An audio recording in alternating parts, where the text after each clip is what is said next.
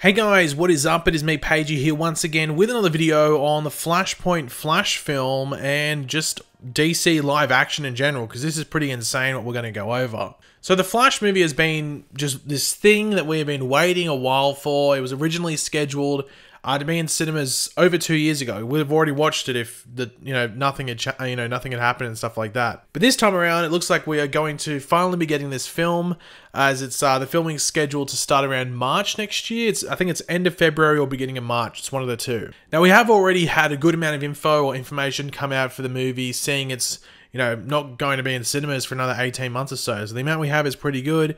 And as I said, it's not going to start filming until next year. Some of this uh, including the return of Ben Affleck's Batman for what looks to be his final appearance. From the way everything's worded, it sounds like this is it. This is where they have that version of Batman exit the universe, if that makes sense, or at least the main continuity.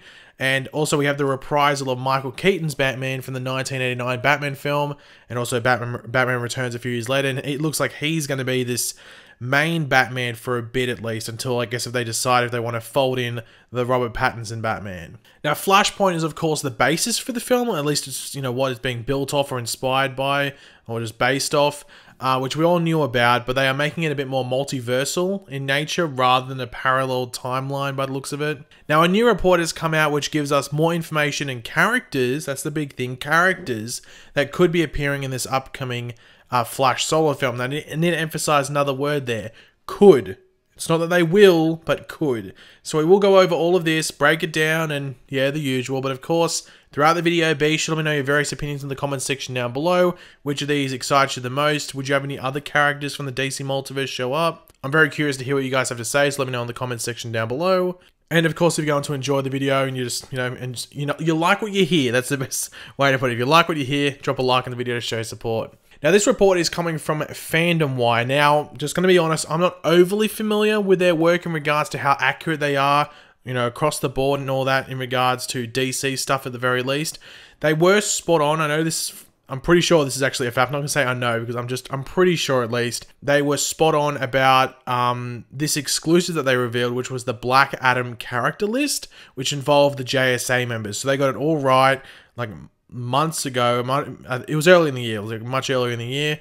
Um, so they got that right. So they have some, you know, I guess a, a decent record in regards to it based off that. But anyways, as always, take this information with a grain of salt. This isn't official confirmation or anything like that. So, Fandom Wire's sources tell them that the movie will follow the comics uh, Flashpoint plotline, with Barry going back to stop a specific event, of course, that being the death of his mother. But in doing so, Barry messes up the timeline. As Barry goes back to try and find his regular world, he stumbles into many new ones, allowing for the opportunity for various cameo appearances. So, it seems like they're going to do the whole thing where instead of time traveling, it's sort of jumping and vibrating and jumping into other Earths in the multiverse and stuff like that. But obviously, they're going to stick with the whole basis of it's to save his mother and everything like that. The big question around this is whether Reverse Flash is involved, whether he's even referenced or brought up, or they treat it as something else. Like Reverse Flash didn't kill Barry's mother and it was some other source. It'll be interesting to see what they do in the, the movie. Now, there is word that producers want him to stop quickly into Nolan's Gotham City, but since Batman is technically dead in that timeline, obviously, if you remember in The Dark Knight Rises, they think Batman blew up with like that bomb thing, but he's actually alive in like Italy or whatever.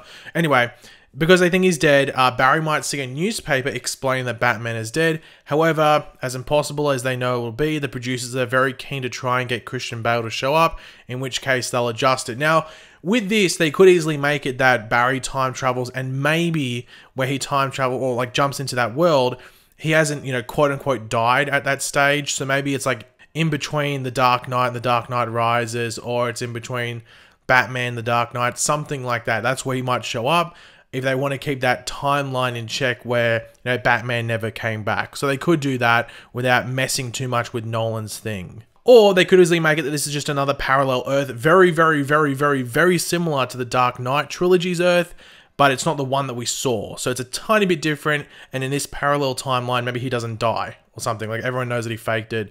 I don't know. But man, if they got Christian Bale to show up along with Ben Affleck and Mike Keaton, the three most well-known Batmen, uh, man, this movie would make so much money. It'd be worth the money to get them back. Now, other Batman worlds on deck are Val Kilmer and George Clooney's, both of which are also being approached. Val Kilmer was recently scheduled to do a DC fandom panel as talk of a Batman Forever Schumacher cut keeps raging, so he seems more likely to agree to something over Clooney. Depending on interest, Chris O'Donnell from Batman and Robin and Batman Forever is also being approached to, uh, to reprise his Robin, which he played opposite both Batman. Now, um, Val Kilmer probably would be the more likely to return. However, I think he had health issues. I'm not sure if that would prevent him from suiting up again or at least playing Bruce Wayne. Not too sure what that would be like. I think George Clooney would be really cool. I know he played in like probably the worst Batman movie, um, depending on how you uh, view that movie in regards to tone and everything like that, whether you watch it as a comedy or a serious movie. Um, but it'd be cool to have George Clooney there. I don't think he'd mind suiting up as Batman again, especially if they took the Mick. If they took the Mickey and just made fun of the whole thing. Maybe he wears like the bat nipple suit or something like that. Uh, and someone, most likely Barry, I guess, would point at the nipples. That'd be fairly funny. Now, with the Chris O'Donnell thing, obviously he played Robin. In Batman Forever, he looked more like Nightwing. Like he had like a Nightwing sort of suit going on. So it would be pretty cool if maybe uh, Chris O'Donnell's Dick Grayson now, at this point in time, is maybe Nightwing. That'd be fairly cool. Or maybe they could even make it that on his on his thing. Maybe at this point, maybe he's developed and become Batman. You know, Dick Grayson has been Batman, so maybe they could do that. But I think Nightwing would be better for him to play, just because he'd be older. Now, the report from Fandom Wire, well, their sources, um, might I say, also say that Grant Gustin's Barry Allen from the CW's as The Flash could also show up, having already met the CW's Crisis on Infinite uh, Earths two-part finale. They've met there already. Um, so, and we also know that uh, the like the TV version of Barry Allen was the one to give the movie version or Ezra, uh, Ezra Miller's version of the Flash the name the Flash. Jim Lee has confirmed that. They've said that's canon. Um, that that's how he gets the name the Flash. So, I think almost like as a the Fandom Wire put here like a nod of respect, and I think that's probably the best way to put it, or at least paying back the favor. So I think that's now this doesn't really come as too much as a surprise that this is in here. I think this would be the one that I think is a guarantee. At least it's probably the most likely out of any of these cameo or guest appearances to happen. Jim Lee set that all up. I I highly doubt they wouldn't push this and make it happen if there's going to be cameos and you know visiting other worlds and stuff. So if you're going to nail down one of these cameos to happen, I would say this one. I think this one makes sense. the The big question is how do they do it? They can't just reuse the scene from Crisis because that's from Barry's POV. That's from his like TV version Barry. It's from his point of view. They have to do something with Ezra. So maybe this is another meeting afterwards. So it's the, it's the second meeting between the two. I think that'd be the best way to do it. Now we move on to some Superman stuff. Now Brandon Routh is set to appear as not one, but two versions of Superman his uh, Kingdom Come version that we saw in Crisis on Infinite Earths, as well as a more classic take on Superman or take of Superman in the style of Christopher Reeve, like we saw in Superman Returns, which of course was meant to be the same character just years later and played by Brandon Routh. But the big thing with this is that so was the Kingdom Come version, at least that will, that's what we're led to believe, and there's even references in Crisis that this is the same version from Superman Returns. Um, the thing they could do is the similar thing I was saying with the whole Nolan thing, where if they don't want to make Batman dead, they can make it like a parallel Earth that's very, very similar. So maybe they do the same thing here. These two versions of Superman are super similar, similar storylines, if not the exact same. They're just from a parallel Earth and there's not much difference between them outside of maybe their age. So the Kingdom Come version is older, and this more classic take is the younger version. So they could do that. Um, I think it's a bit weird to make him play two unless they really want to really focus on the multiverse, how these two are the same, but just one looks older. I don't know. I found it's a bit weird when I heard it, but they could make it work.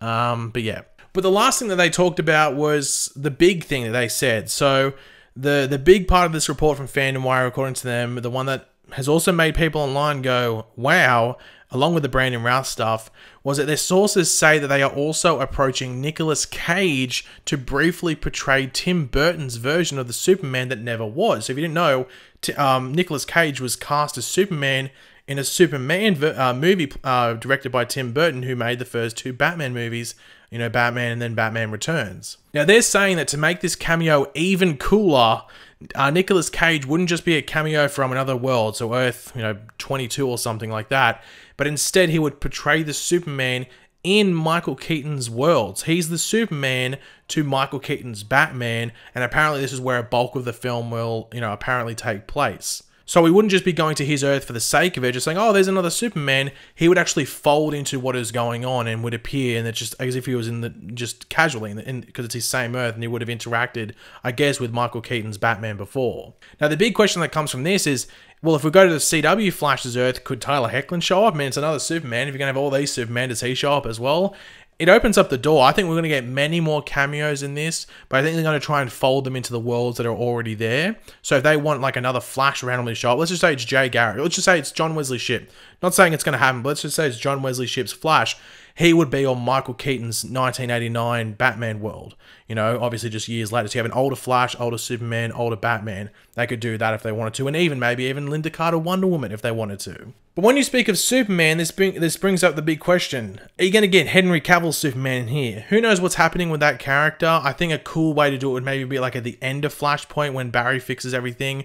Henry Cavill shows up as Superman for a last thing, maybe even like Momoa and Gal Gadot and stuff like that, and it shows that they're the same, but then it shows that Michael Keaton's Batman is this new Batman in this new world that's now um, a thing because of Flashpoint.